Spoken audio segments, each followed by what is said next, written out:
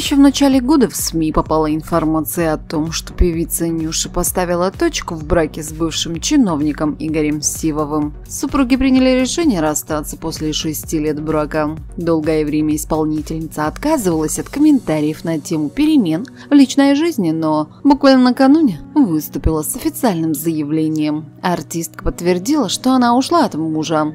Да, в моей жизни правда происходит новая трансформация. Мы с Игорем уже давно не вместе, только сейчас готовы об этом сообщить.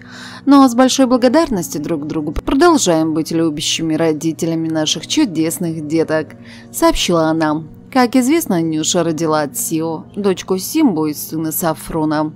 Дети остались жить с мамой, но экс-супруги договорились о совместном воспитании. Деталями развода Нюша делиться не стала, но, видимо, обошлось без скандалов и проблем с разделом имущества.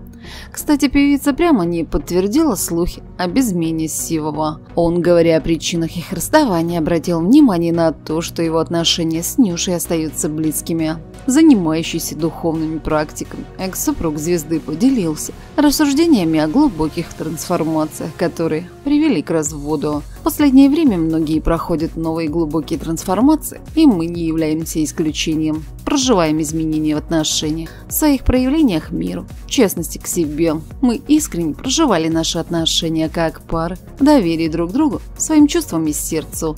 Мы знаем абсолютно все друг про друга, сказал Сивов о разводе. А как вам эта новость? Пишите свои мысли в комментариях.